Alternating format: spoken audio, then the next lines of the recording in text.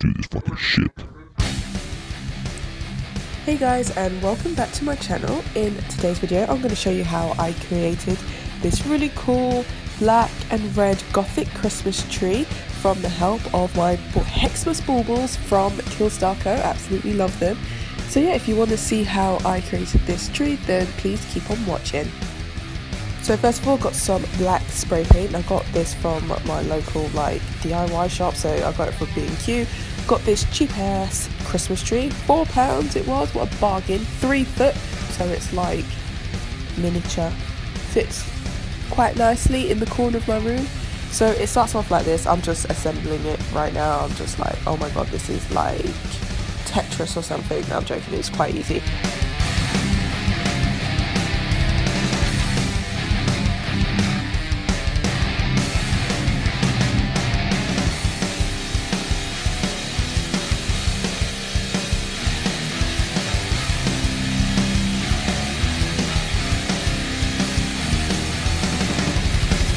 So once it was all assembled, I basically just spread out the leaves, is it leaves? Branches, branches, whatever they're called, and began to spray it. So I obviously shook the can up just to make sure.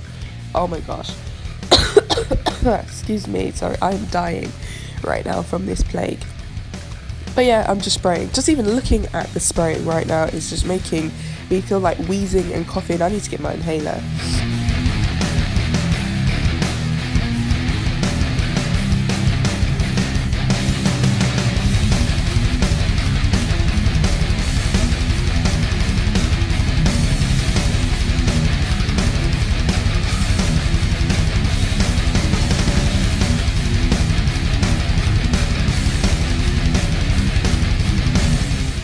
So yeah, I just basically sprayed the tree all over as best I could. Now, if I was to do this again, now with hindsight looking at this and doing this project, I would probably get maybe two or three cans because although it's not like noticeable too much, but if you look at it really closely, you can see that there's patches which I missed, and a second or third can, like maybe two coats, would have, you know, eliminated that.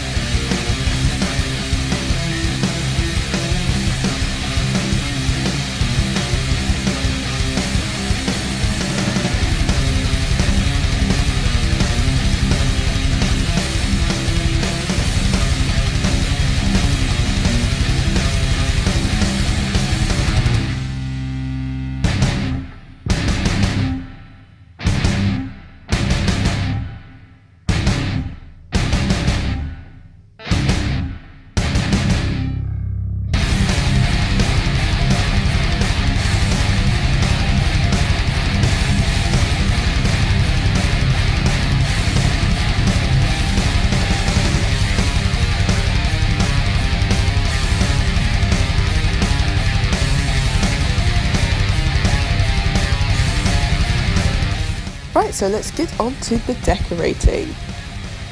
Here, so I've got my red lights. Here it's got 200 LED fairy lights on it. So I start off with that, just wrapping it around the tree as you do. All this stuff I got from Amazon. So the tinsel, the lights, the black baubles, everything except for basically the Killstar stuff I got from Amazon.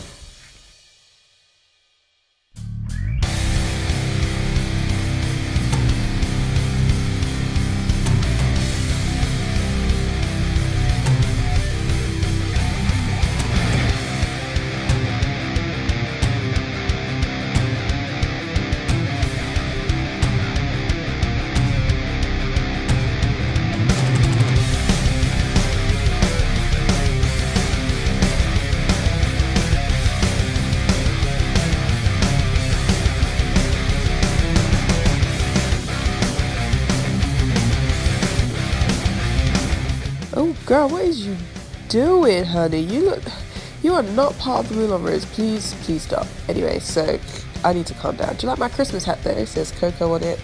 Got that custom done. It was necessary. That also Amazon. Honestly, I'm telling you, Amazon is like, I don't know. It's what I would imagine the afterlife to be like. It's just where everything exists.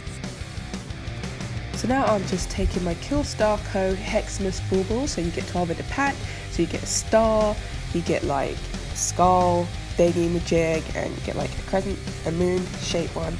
And yeah, I think they're pretty cool. I think they're 9.99, so basically a tenner to purchase these baubles. Um, yeah, so this is a little close up on them. Very lightweight, shatterproof. I did drop it at one point, nothing happened, so we're good to go.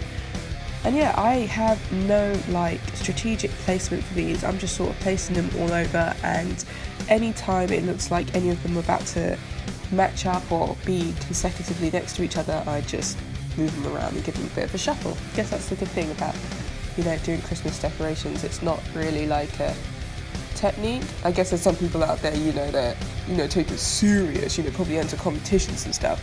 But yeah, this is just how I do it.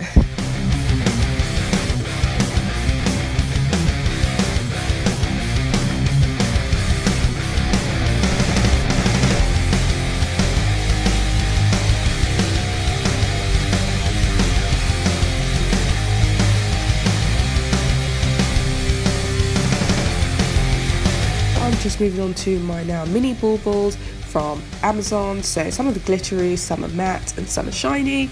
Uh, you get 25 in this pack. I can't even remember how much these were. I think they're probably about tenner as well. I could be wrong. Oh look, Killstar Co mentioned me. What are the odds of that? They knew their ears were burning. You know when you're talking about someone and their ears start burning? Yeah, this is what happened here. But yeah, um, basically so I'm just placing these around so anywhere in the gaps trying to hide some of the lights because basically those those lights were long. So basically if you've got a three foot tree 200 LED lights is way more than enough but I wanted it to glow. I wanted it to glow like Satan was coming from the ground and I was descending into hell no I'm, I'm joking. So yeah anyway I am about to put the star on top. It's a nice black glittery star to go with the theme.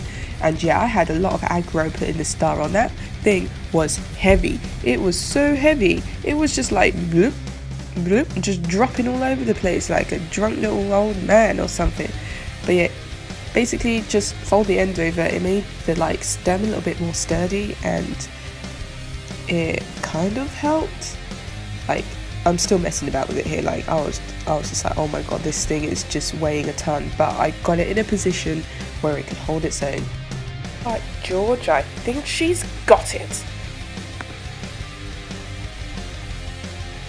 So guys, there you have it. This is the final look. I like the theme of the black and the red. I think it kind of ties together quite nicely. I thought to do something, you know, a little bit different and yeah, I kind of like it in the end, you know.